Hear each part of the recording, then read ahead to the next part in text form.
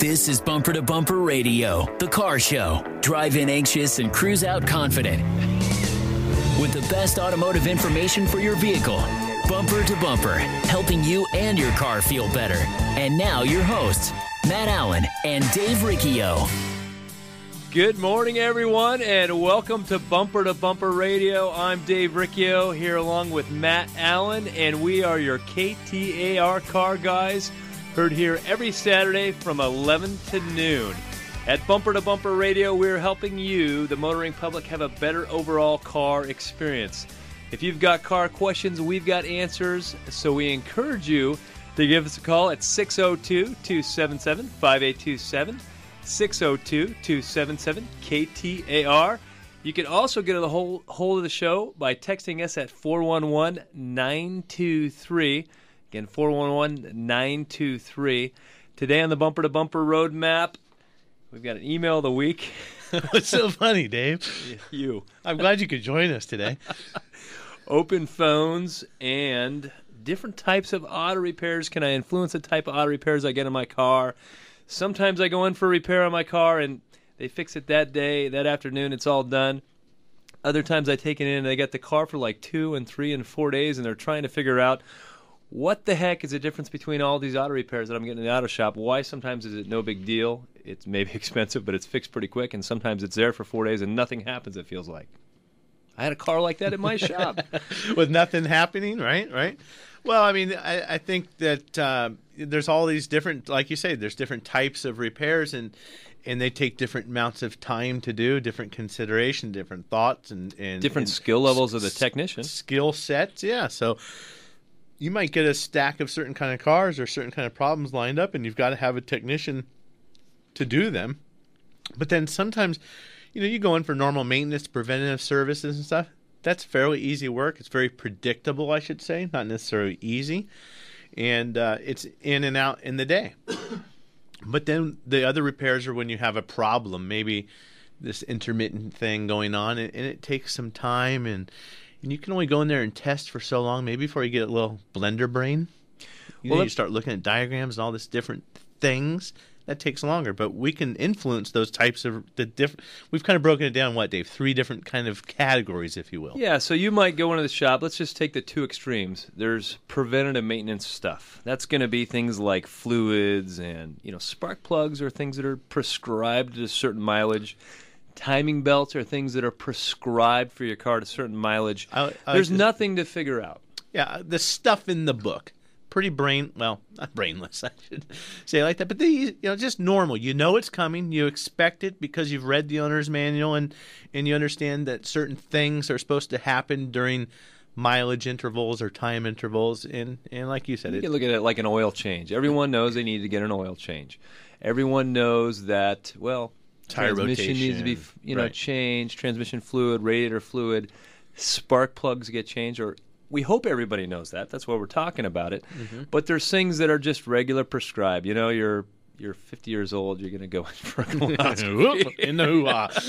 but it's not something you worry about at, th- at 30 years old. It's not, a, not not really on the radar as of yet. So then we have the extreme from the preventive maintenance, then we'll go all the way to the extreme of breakdown or catastrophic failure. And those are the types of things like maybe a belt or a hose or a radiator uh, blew up or, or just something happened that rendered the car broken down. An alternator, a belt. Uh, you know, maybe just running so badly. What are the kind of things really break down? You could have a bearing failure, I guess, or drive shaft, or Starter goes bad, alternator. Maybe you said that. Yeah, I mean those things you can't really predict necessarily. I don't know. We're pretty good. no, I'm teasing. You're a big deal, right? Yeah, we So, have- so those are the two extremes: Ex- preventive, maintenance and the breakdown, and then there's the stuff in the middle, the symptom. Well, let's let's talk about breakdown because what is your expectation when you go to the shop? Well, when you bring your car to the shop or it shows up on a tow truck, well, we look at it and we we see some water or coolant that's coming out of the water pump. Well, we're going to fill it up with fluid and we're going to pressure test it to see where all the leaks are in the cooling system. It's pretty obvious. You know, you pump it up. A lot of times it's obvious, and you see like water squirting out of the side of the water pump. Hey, we know we have a bad water pump. There's no real in-depth diagnostic. There's no charts. There's no this or that. You can just see it. It's just broken. It's like the emergency room, I guess. There's a difference. I mean, you walk into the emergency room with a butcher knife sticking out of your, you know, your chest. It's pretty obvious. I mean, they know there's going to be some damage in there, and that that's going to be some delicate work. But that might be a little bit different than going in, going, ah, I got this thing over here. Mm. It's not quite. I can't describe it well, but it hurts. That's different than, than a catastrophic failure or breakdown. So we've talked about the, the two extremes preventative maintenance fluids, stuff that you regularly do. It's in the book, it's prescribed, it's not surprising, and it's not stuff that's urgent. Now we got mechanical breakdown where your car ain't gonna go nowhere until ain't you gonna go nowhere until you get it fixed. Ding ding, Davy. and in the middle, I'm gonna call these drivability problems and drivability problems, and I'm gonna I'm gonna make it a big drivability problem issue. So some people used to think, well, drivability is just engine related issues. I'm gonna call drivability problems are things you got to drive and figure out. You can't just diagnose it in the bay. Someone's got to drive it and figure it out, and they're not always easy. So I call some are just code diagnoses. Sometimes we got to diagnose cars where we don't have any codes. It's going to take some seat of the pants feel it's going to take a ton of experience, but I got to go figure it out. And it could be something like, you know, running rough or sputters every now and then, or the check engine light comes on every now and then. But it's it's it takes a lot of uh, brain experience, experience, thought and, process. Exactly. Intuition, maybe. Intuition, uh, intellectual property. I'll call it that. You know, because you can you can take you know five technicians and you know one in the five has that skill. You know, and and we know in our shops which guys are. Oh, that's a hard drivability issue that goes over to his his ticket, his hook. Mm-hmm. You know, and this one over here, you know, that's kind of a, a lighter a lighter thing, and it's just preventative maintenance, and we can really use a different a different type of guy to look at that. So, but the expectation is different. So your car came off the tow truck, the guy put a pressure tester on it, he pumped up your cooling system, and he saw a leak squirting out of the side of the car chances are you're going to get a water pump, a timing belt, and your car's going to be ready that next afternoon. Not a big deal. And then you say, hey, I've got this one weird problem. It's symptom related when it's drivability. And it, you got to give the shop some more time with it, especially if it's intermittent and especially if you can only make it happen every now and then. Like, hey, this happens one time every five days. That's a question we like to ask. What is the frequency of occurrence? Because that helps us know because in, in, until until we feel it, it's going to be hard for us to tell you what's wrong with your car. And customers get frustrated. Well, that's what you do. You should just know that. No, no, it's not just what we do. We can't read minds. And if you went to the doctor's office and just sit there with a smug look on your face all he's going to know is you got a bad attitude. But he's not. wow, Dave. oh my goodness, you. He's not going to know that you know you're really you're really uh, having a some sort of flare up somewhere in your body. You know, unless it's real obvious and you can see it. So, you know, that's where the shop has to experience the problem to, to really know what's going on. And and sometimes they say, well, you know, we can't we can't fix it if we it doesn't happen for us. Well, I talked to some shop owners and people will describe their problem and they say, well, okay, what's going to be maybe it's just the way we say it, but they'll take it literal. Well, it'd be about probably be one hundred fifty dollars to look at it. You mean you're just going to charge me one hundred fifty dollars to look at it, or a hundred? Make up the number. It doesn't matter what it is. Sometimes I, I mean, I've said to a customer before, I'm not pulling up a lounge chair and just sitting down and standing and looking at the car and charging you $150 to look at your car.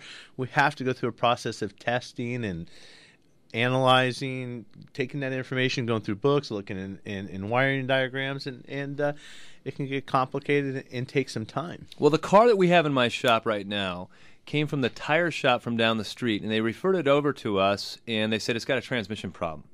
We drove it, and my technician looked at the codes, and there was a code in there for a cylinder number three misfire. There was broken mounts in the car, and so we just called the tire shop and I said, we're just going to refer it back to you because we think it has an engine problem, not a transmission problem.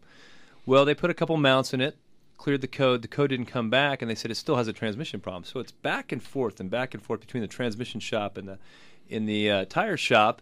And so we drove it again the second time. Well, there's no codes, and we can tell it's definitely misfiring, but it, it's not showing up on the data. It's not showing up on the scanner. But our experience says, well, hey, we got to start pulling spark plugs out of this thing, see if we can see some carbon tracking on it, see if we got a coil that's maybe breaking down. We don't know what's going on, but that's where the experience and the taking stuff apart and looking at stuff starts to come into play. And there may not be any silver bullet.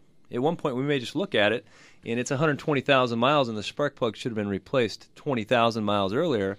We may need to catch it up on, on on some of that preventative maintenance that got skipped first. Well, and I like to call that cumulative wear. There's not one particular thing that's wrong with the car. You can't say it's the spark plugs, it's the coil. It's a little bit of this, a little bit of that, and that single repair still wouldn't take care of the problem. It's the totality of all those things. And I think our point when we started this, Dave, and we'll probably have to go on it some more in the next segment, is you can influence that. If you do your PM work, your preventive maintenance, you're going to avoid probably having breakdowns and you're going to maybe avoid having some of these other symptom based problems where you actually have to pay someone to figure the problem out where the breakdown is much easier but we can we can get to that when we more. come back we got wide open lines at 602-277-5827 you can also text us at 411-923 you're listening to matt and dave and bumper to bumper radio Bumper to bumper on News Talk 92.3 KTAR. Well, welcome back to Bumper to Bumper Radio. I am Dave Riccio here along with Matt Allen, and we are helping you, the motoring public, have a better overall car experience every Saturday from 11 to noon. And I'm just looking, and we got a few texts here that came on uh, during this last segment, and one here that I kind of keyed on it. I have a 2013 Ford Raptor. By installing an aftermarket bumper and skid plate will that void my warranty? And I say no. It only voids it as opposed what's related to it. So you know what? There's going to be no warranty on the bumper mounting brackets because we we address that. You know, or if you put aftermarket shocks on it, well, you're you know that's going to affect suspension related items, but that's not going to affect something up in the engine compartment necessarily. well these warranty companies and even some of the dealers like to hang their hat on oh you lifted the truck it's going to uh, void your warranty Oh, you know, I wasn't thinking about that. The factory warranty, no. Aftermarket warranty, yes. I've seen those guys get out a lot of warranty stuff. Well, not on a not on a bumper or something like that, but they're pretty sketchy. They'll they'll always look for something. But you know, I had a a Chevy Duramax truck, and I had a chip on it, and it was lifted, and and you know, it was the big diesel. And he was uh, compensating for something. yeah, and I never had one before. I wanted one, but uh, so it was running bad, and it had a bad wiring harness, and it was a known problem on this truck. They just the Duramax truck, they had the injector wiring harnesses would go bad, and I had it at the local Chevy dealer under warranty, and they said, "Oh, you put a chip in, and this truck is lifted. You voided the warranty. What are you talking about? It's got nothing to do with anything. I mean." Yeah, I go get a pedicure and, and now I have a toothache. So that's the the fault of, of what? It has nothing to do with anything. Unless you suck your toes. Well, sometimes I chew my toenails. I can only wish to be that limber. but uh, yeah, so it doesn't it doesn't really have anything to do with it. Now, if you lift the truck and you have a bad drive shaft, you could argue that the driveline angle was changed and that tore up the U joints or something. But typically not. Right. So only really on the factory warranty what it affects. But I've seen, you know, on these aftermarket warranties, a guy's in my par- his car's in my parking lot. He's got a bad transmission, and he went from a 16 inch wheel to an 18 inch wheel. The overall size of the tire is the same because there's, you know, The rolling. you, Yeah. you you can change the the sidewall height to to give you the same tire size and they said no we're not going to cover it because you changed the tire size so and i've had that happen more than once and they send out these inspectors from the warranty companies and the first thing they do is open up the door jamb check the size of the tire and go back because their their whole thing is to why don't we have to warranty this car Yeah, that they're kind of sleazy. I mean, they're uh, some of yeah a good majority of them are kind of sleazy Well, and that go, if, you know, we didn't mean to go this way, but we're going there now, Dave, with just with that question. But that's where the preventative maintenance comes in, because what's the other thing that these warranty guys doing when they send out an inspector? It has nothing to do. We're talking about maybe a wheel hub bearing or a axle shaft or something like that. But what are they doing when they come out? They're checking the motor oil, they're checking the transmission fluid, they're checking all the fluids, and they're checking things to see if there's a way that they can say, hey, that's dirty and you haven't been taking care of that. So we're noting this so that we don't have to warranty the next thing because you've neglected the car now. Well, I've seen them turned down because of lack of maintenance on a vehicle. I've seen them turn down a repair and say, you know, this vehicle's just not properly maintained, so we're not. So that's that. You're going to get me on a big old rant, rant rave on this aftermarket warranties because, you know, there is a there is a few good ones, but I would say they're the minority. uh, the my majority of them tend to just want to, you know, they're in the business. Hey, if we can sell these warranties, we collect all this money up front, but whatever we don't have to fix, you know, that's money in our pocket. So it's in their best interest not to take care of you. Now, Ford Motor Company sells you a car. They have a little different agenda as far as taking care of you, taking care of their brand. I mean, there's a brand that they it has a brand name. The warranty company, Taking care less. you know, Auto Repair USA, you know, who who the heck are they? You know, but but Ford has a name to protect, so they get, they want to take care of their customers. You're getting antsy over there. No, I'm just bouncing around a little bit, you know. just Well, we got doing some my more thing. we got some more phone calls, but we're going to go ahead and uh, get to some of these phone calls. We've got Juan in Avondale on an 01 Chevrolet Tahoe. Go ahead, Juan. You're on Bumper to Bumper Radio. Thank you for taking my call. I'm just having um, um, an issue with my uh, instrument panel light. They're not coming on at all. So at night I can't see anything in the instrument panel lights, and I was wondering. I already checked all the fuses. I was wondering what what else I can check. Are there any other lights that went off, Juan? Does the stereo light, you know, like the clock, can you still dim that bright up and down uh, with the dimmer switch? Yeah, when I go, I mean, when I go with the dimmer switch all the way up, when I click it all the way up, yeah, I can. The instrument panel light comes on, and the the you can see the radio clock and the radio, you know, the stations and all. You can see that, but once I click it down, it all it all it all goes off. Everything goes off. Hmm. Even the radio too, right? Even the radio too. Even the light on the radio can't make out the numbers or anything. Hmm. That's weird, Dave. I'm not sure. We might have to do a little bit of research on that, but it it um it it sounds. Oop, Juan, hold on one second. I cut you off a little bit early. What were you saying? I said I haven't done anything to it. I haven't added a radio or nothing to it at all. Okay. Well, that that's good to know. I mean, that's one piece of information. I guess I might be looking at the headlight switch itself because that's that's the dimmer switch is built into that. Um, that that dimmer switch should also be able to control the radio. When you turn it up or turn it bright, it's going to turn on the dome lights and should be at full volume, if you will, or full brightness. Maybe be looking at a dimmer switch. I know there is a separate fuse. It's usually a 7.5 amp fuse. Really, 7.5. It is 7.5 amp fuse for the for the dash lights.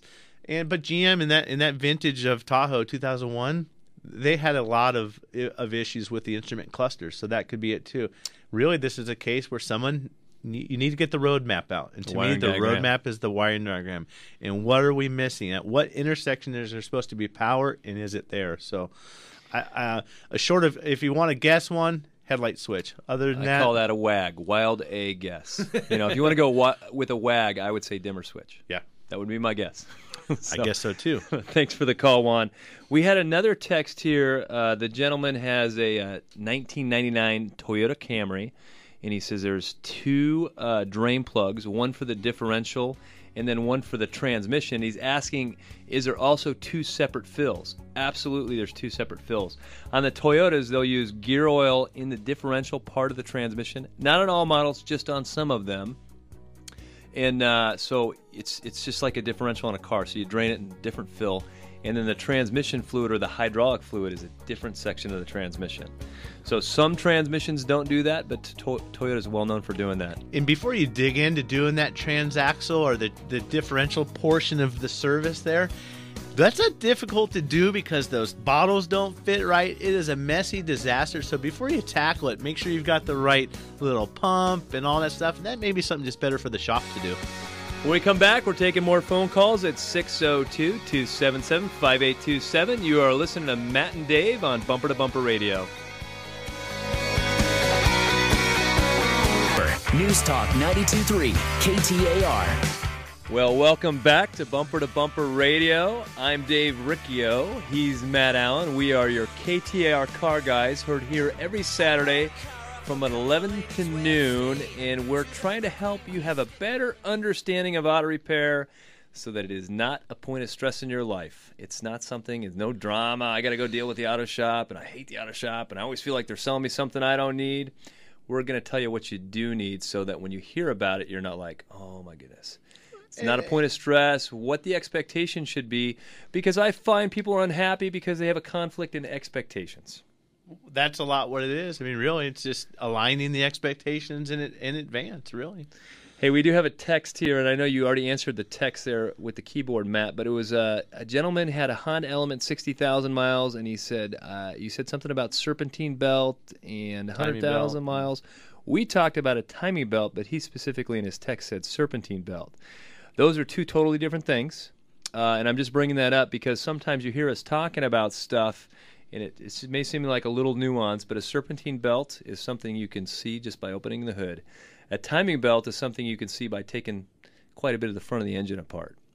So the timing belt is a thing where we do it based on it's a, it's mileage. got a pre-prescribed mileage or time interval. Yes. In a serpentine belt, we can check it out. We've got a little tool to measure how much tread is left on the timing or on the serpentine belt. Yeah. See, I even confused myself right there. Easy to do sometimes, huh, Dave? and uh, on on the serpentine belts too, lately, uh, the the material of the belt has changed. So it used to be we'd be looking for cracks in the belt, and we've had this a couple times at my shop. We tell someone they need a belt, and maybe their husband or their neighbor looks at the car, and they, then we get the phone call. What are you talking about? There's no cracks or anything. Well, the belts don't crack necessarily now. They just wear out. They're like a tire. They just wear. The material goes away, and and that's the tool that Dave was mentioning, where we actually measure the depth of the grooves on the belt. You didn't weren't doing that five years ago. It's changing. And for those of you who just tuned in this show, Matt and I uh, own auto shops. I own a transmission shop in Tempe, Arizona, and Matt owns Virginia Auto Service. Mine is Tri City Transmission, and he's in Central Phoenix. But we are among a list of you know 25 other shops that, whether this be body shops or general repair shops, transmission shops. They can all be found at bumpertobumperradio.com. And these are a list of shops that we just know are great shops. You're not going to have any problems. They're not they're not chains, big chain names, but these are these are shops where the owner is on site. And I wanted to highlight one of the body shops uh, I 17 Collision because Kevin is such a good guy and they do such nice work and it's so easy to refer people up there. Well, yeah, I mean, the story for Kevin I goes back before I opened my shop. I had never been, I didn't know where Virginia was. I used to live in the state of Virginia. I didn't know there was a street named Virginia. Little did I know it was just south of Thomas on 7th Street. And, uh, but I was a tech at Camelback Porsche and uh, which is no longer there. That's the that's the BMW used car store now. So I was a technician there after a short stint working with the Porsche racing team, and uh, I was unemployed. They closed down. It was consolidated. Roger Penske bought it out, shut it down, moved it to Scottsdale. Low man on the totem pole. I had no job, and voila, bought the shop. Well, Kevin from I-17 ran worked with the body shop that we, that the Porsche dealer sent the work to, and so he left there and went out on his own. That's the only guy that I've really ever referred work to in almost nearly 20 years of, at Virginia Auto Service. And uh, I want to give him a special thanks and a little shout out because he did some work on my car. We did a lot of work. My wife has a nice little BMW station wagon. It's a 2006, 80,000 miles. We started talking about some of these cumulative repairs. It had a lot of little things on the car, but nothing was wrong. So we went through. We're keeping the car a long time. Forgot to and uh, you know tires and struts and shocks. But boy, that car really made a transformation from really having nothing necessarily wrong with it. Several thousand miles or dollars later, with all this work that we did, the car is a dream now. So I took it over to Kevin I 17. Let's paint the hood, take care of these door dings, take care of this. Here's the car, Kevin. You know, they had it for a week and a half, no problem. I'll tell you what, the car, my wife is happy. It's a brand new car, and I didn't have to spend 60 grand to get one A couple grand on some paint work, a few thousand dollars in the shop on shocks and struts and some wiring repairs. It's like a new car. It's just like a new car. So I-17 collision. If you have a body, one day you'll need a body shop. Oh, so oh, it's just, just, a matter of when. It's just a know. matter of when. So write down in your glove box. Put it in your smartphone. I-17 collision, 602-249-1706. There you go. Well, and if you find any of these shops at bumper to bumperradio.com, these are not shops that just called us and we just put on the list. I mean, that's a 20 year relationship that Matt has. Knows him, trusts him. You know, I go out to lunch with Kevin. He's one of my favorite people. And uh, so pretty much everybody on that list at Bumper to Bumper Radio is a great shop. Kevin's a rock star, too. he literally. he plays a, a rock and roll band, and his wife, Sherry Rowe, just signed a country music contract. She's a singer, and he travels around and plays in that band, and it's really cool. He's a really good guy. So anyway, Well, up first this segment, we're going to go with Lee in Apache Junction on a 1992 Ford Taurus wagon. Go ahead, Lee. Bumper to bumper radio. What can we help you with? Yeah, yeah. Uh, last night I, I lost uh, power steering. I lost the fluid. I have no power steering. I have a new serpentine belt, a new rack and pinion, a new high pressure line, a new pump.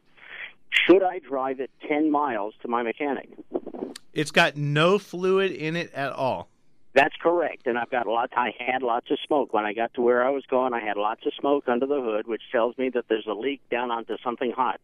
The question is, should I drive it without power steering on a serpentine belt? No, I wouldn't drive it because a um, if if there's something that the shop did and it lost the fluid, well, maybe they should be on the hook for the tow. We don't know that. So if the shop is the one that did all this work, I would consult with them, have them help you make that decision. But to me, that's no. If you've got towing road service or something, you should try and use that. Once the car gets back to the shop, then if somebody had to actually pay for this tow bill, then we'll decide is there somebody that's responsible? Is it you? Is it a different repair or are they on the hook for it? But what you don't want to do is have them do a repair and then say, Well, I just wanted to drive it down, it lost all this fluid, then you just ruined, you know, you burned up a pump that maybe wasn't a problem and you created mm. in worst case you said you got some smoke. That power probably not likely to happen. You don't want power steering fluid to go in the exhaust. Now you got a barbecue. Barbecue. Yeah, it's so not good. So for a hundred dollar tow bill, just just to get it towed. Well, you know, and then we're talking about towing and people, you know, should I drive it? Shouldn't I drive it? Should I pay for the towing? Shouldn't I pay for the towing? When you call and you set up your insurance policy for the next year for an extra 10, maybe $15, you can have towing for the year and you don't have to go to the big motor club, but you, it's something you can have with your regular insurance company. I've had the same insurance company, USAA, for I don't know since I could drive. Take that ABC card and throw it in the trash. Get your road service at Geico or USAA or or get it on your insurance policy. And uh, They can, yeah, two bucks a month. Two, Two, bucks a month, and then you don't have to worry about that. And I see people flat towing cars. They use a tow strap and they're they're towing it, and I'm thinking, gosh, we're saving on a hundred dollar tow, but we're looking at some big money if it goes wrong. We're gonna go with Pete in Scottsdale on a 2014 Porsche. I can hardly say it. Cayman. Porsche Cayman. Go ahead, Cayman. Pete. Pete, are you there? Yes, hi, hi guys. Good morning. Thanks Morning. for taking my call. Uh, my question is uh, mostly like a second opinion, if I may, uh, not a repair. But if I if I could get a second opinion, I will greatly appreciate it. I have a, a brand new uh, Porsche 2014 that it literally came off the showroom. But I have, I'm having a situation where uh, when I back the car out of the uh, my garage and cut the wheel to get out of my driveway, the wheel feels like it's going to kind of like fall off, like it's bumping, like I'm hitting a curb or something like that. And according to the dealer, that is perfectly normal, and it's it, it does that like you know in all Porsches basically across the board. And I I find it hard to, to believe that that's the case on a car like that, or there's nothing that it could be done about it because that's the way the way the car was made. Now, made. so- uh, what what what is your thought on that? I need to ask you one more time. So, when you t- are you turning the wheel to a full lock position, like all the way, or uh, tell me one more time? Yes, without locking it all the way, like basically as as an auto habit, I never do that because I I understand the, the question. Uh, I just go like as far as I could go without locking it all the way, and it still does that. You know, as I'm turning, stepping on the gas to to, to come out of the driveway, it keeps on like bumping. You know, like it's it's wobbling kind of a thing. You know what I mean? Yeah, I mean, I'm having a hard time really fully understanding the the sensation that you're feeling. I guess whether it's a 2014 Porsche or in my 2010 Toyota pickup, I, I have a weird noise, and they say it's normal. So I just said to me, "Show me another one that's doing it. Let's mm. show me mine." Yeah, so we should be able to jump in any Porsche right now, and we can do exactly the same thing. and We'll have the same feeling. Yeah, right? yeah. So I think they you wouldn't characterize that as a problem, but a characteristic of the car. So if you could de- if you could have someone demonstrate, you know, in a non-confrontational way, demonstrate to me how you know, show me another car. Just show me how it works. But at least you've got it documented early on in the car's life. Next time you take it in for a service, maybe ask them about it again, talk to the advisor, and let them tell you the same story, but at least it's documented. So if something comes up over the next course of, of the life of the car, you may be able to get some help, or at least it was memorialized from from day one. But I, if it's a brand new car, it's probably okay. You know what I hate about auto repair? I hate the broad statements. If it's a broad statement, I'm pretty much not going to count it as true.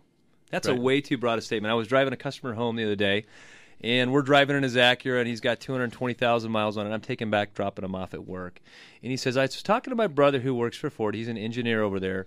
And he said something about, gave him some advice about transmission service. And he used a big, broad statement, like, don't service transmissions.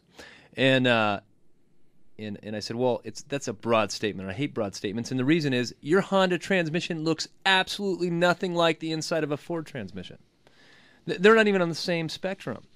And you throw a broad statement across all cars. Oh, you know, all Hondas do that. No, no, they don't all do that. So uh, when I'm getting advice about a car, I, I, I don't broad statements. And you're going to talk to people that worked on a car when they were a kid, or you know maybe they started out their career working on cars. But in 10 years, things drastically changed so much. The way we address cars this year is completely different than the way we did it 10 years ago. So I'm going to take a lot of that broad statement stuff and just say it's not accurate. You can't paint it all with one brush, especially coming from uh, maybe the sale. Talk to the salesman that that sold the car and see if they have it, and just just I think the most important thing at this stage of the game is memorialize it. Make sure everybody knows that that you're concerned about it, and, and then it's there for the future. But I think you're okay, and congratulations on the nice car too. Yeah, right. I'm, I'm I'm feeling a little car envy. When we come back, looks like we've got Pete and if I can read that right, I can't see it from here. It's a Camry, Dave. A gentleman in Gilbert, and uh, we've got a couple of texts. You're listening to Bumper to Bumper Radio. You're listening to Bumper to Bumper on News Talk 92.3 KTAR. Well, welcome back to Bumper to Bumper Radio. I am Dave Riccio. He is Matt Allen, and this is Bumper to Bumper Radio. I heard every. You sound so excited today, Dave. I mean, yeah. I need to come in there and slap you around a little bit, I- wake you I up. think so. I had I had a week off, and when I have a week off, I come back and I'm not really quite sure how the I'm gonna throw this cup of ice water in your face, Yeah, and uh, that- that'll that'll work. Well, actually, we got done talking to Mike Russell this morning. He's hurt because his car is broken down. He bought it from Whiny, so I think there's a little bit of tension between the two friends because he sold him the car. Oh, Peter puts his arms up like big tension. big tension. So the other Mike is the whiner now, not whiny. It's Mike and whiny have switched roles? So huh? we, I like to, I like to fuel the fire a little bit. So your friend sent you sold you a bad car. you never sell cars to friends and family because inevitably they do break. It will happen, and it's always going to be one of those things when you're at the backyard barbecue. You know, on, on Memorial Day, you're like, "Yeah, so I had the uh, Chrysler in the shop the other day, and uh, you know, it's make you know, it's just not good." It's almost as bad as working on your neighbor's car. It never goes right. So I mean, I sure hope Michael's Land Cruiser gets fixed. Okay, speaking of that, Mike But- Henry's car's in the shop at Virginia Auto Service. Uh, so anyway, we'll see how that comes out. We've got a text here 2005 Toyota Camry. I'm just going to read through it. It says, When I start my car in the morning, there is a low sound squeal. Got to be first, a belt, right? First Dave? sentence. Yeah. Gotta be a belt. It's got to be a belt, right? It will go away after my engine has warmed up. That still feels the, feels the belt thing. And when I will depress my clutch pedal, it will become a little bit more quiet. But once the, the screen ref- refreshes Yeah, as. I'm reading it, uh, I depress the pedal, it's louder. Any ideas on what it may be? Well, you've got a pilot bearing in your clutch and you've got a throwout bearing. It's really called a release bearing, but you've got two bearings in a clutch. The pilot bearing is only working when your clutch pedal is in. When the clutch pedal is out, the pilot bearing is spinning exactly the same speed as the input shaft. As soon as you push the clutch in, the pilot bearing comes to life. So it's going to be either one of those two bearings, the pilot bearing or the throwout bearing. We may have two different squeals. We may have a belt squeal, plus we may have a throwout bearing or release bearing squeal going on. Well, and the way to influence that that pedal, Dave. I mean, you we do a lot of clutches as well as you do, but you you just step on the pedal a little bit, and you don't have to put the pedal down. Just a light pressure, Mm-hmm. That'll- even enough to be able to shift it into gear, but maybe just push down an inch, and uh, you know, it really, and you can almost sometimes feel that back through the pedal if you've got a sensitive foot. I have a very sensitive foot. yeah. Oh boy, this So is going anyway, I'm trying- downhill, trying to downhill fast. text we We, had a good text. The guy wanted to know he's got a Chevy truck, a '99 Chevy 3500. The best way to flush the cooling system. Well, that car's got Dex Cool, and I'm a big believer of putting the right coolant back in the car. used to be we had green t- coolant. Toyota had the same thing as green. It was just red. Chevy came out with Dex Cool. That's reddish pink. And those were the three. And, and, you used to think, well, if you had red coolant, it was this interval, and green coolant, it was this interval. It doesn't matter. You can't rely on the color of the coolant to help you determine what the interval is. Porsche, Audi, Volkswagen have pink. BMW and Honda have blue. So the point there is, I would always stick with what the original equipment coolant is. You can buy the chameleon coolant. I don't Mm, like not a- it. not We a just- fan. Not a big fan of it. Use that. You want to get the lower You can rate- tell by tasting it. Shut up, Dave. you want to pull the radiator hose off, get the radiator empty, maybe pull a heater hose off and run the hose through the engine block and get it all cleaned out. Run it back through the heater core until you have clean water. Try and blow it out, and then I want to use distilled water to refill that cooling system. At Virginia Auto Service, we have a purified water tank. The water in Phoenix is horrible for your car. You don't need those solids Yeah, you floating don't around need in that, that in the cooling system. So we always use a purified. You don't want RO water. You need distilled water or a, uh, DI water. And then you want to get probably a 50-50 mixture. You don't need anything more than 50-50. You certainly in some cases you really don't even need 50-50. And use the use the coolant, but then be careful too. Some of the coolants are already pre-mixed 50-50. and no mixing needs don't happen. mix it. Yeah. Well, you need to be aware on these late model cars if you're doing some stuff in your driveway, little DIY projects. A lot of these late model cars, Volkswagens and such, what's happened is the radiators are now lower than the engine. So it's very hard to get air pockets out of the system. So we're actually vacuum filling these cooling systems. So it's it, it now is not quite such a driveway job anymore. Something you want to mess with. So you can think you're doing a good thing, do a cooling system service, leave a air pocket in there, overheat the thing, warp the head gasket, you know, and uh, so, what is it worth? Stick with the right fluid and make sure it's something you want to do. I think on a Chevrolet, I'm, I'm not thinking that's too big of a job. Yeah, in the driveway. 99 Chevy pickup, typically not a big deal, but uh, you know, yeah, like you said, Dave, these late model cars, the hood lines are down, and, and you've got to be careful to get those burped and bled out. So, you know, Google it. You can always find a lot of stuff on Google, whether it's accurate or not, we don't know, but a lot of people are putting tips out there. And Google you can find- Gnostics. We're going to go with Pete with a 1999 Corvette. Go ahead, Pete. You're on Bumper to Bumper Radio. Good morning. Say, back in 2005, I got a uh, uh, steering column lock recall notice on my uh, Corvette. I took it down to the dealership uh, that same month, and uh, they did whatever they do to to fix it. But earlier this week, uh, the steering column locked up on it. Fortunately, while it was in my garage.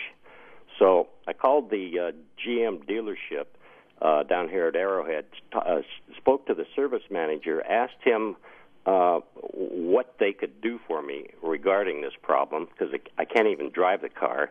And he started talking to me about, uh, well, the uh, warranty is out on it and and so on and so forth. Well, back in uh, 2005, th- there was the, the warranty had already expired on the car. So I'm wondering to myself, well, what's the difference?